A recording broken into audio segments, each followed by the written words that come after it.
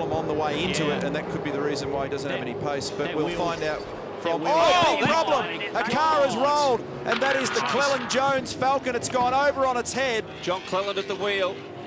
And I think that was Jason Plato, wasn't it? The HRT car that he's connected with too. Well, I need to see it again in replay, but uh, hopefully John is okay. No, that's the other car there, Yeah. Neil. So he's tripped over the Plato car that was limping back to the pits at slow speed. That's Andrew Jones at the wheel, I assume. That's the Jones uh, Cleland car.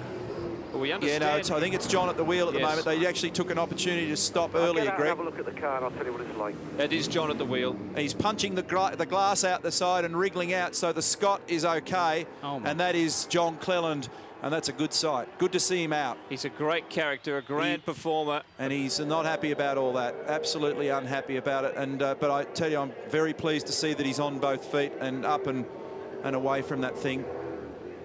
And uh, that was amazing. It's uh, it's always worried me, Greg. You know when you see cars off to the side of this racetrack and they're limping along. We saw some people earlier in the weekend. Here's the he's, replay. He's well offline. Oh, what's oh, he's come out He's from gone around the another outside car. another car. Yeah.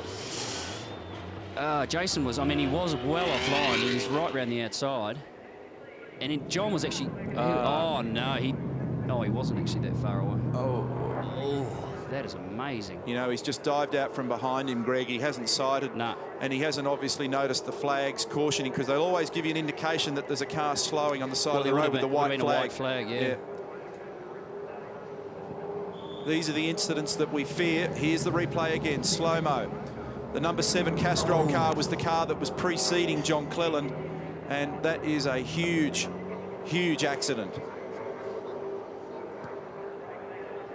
And she's turned turtle, skates down the road, and the integrity of the roll cage protects the driver.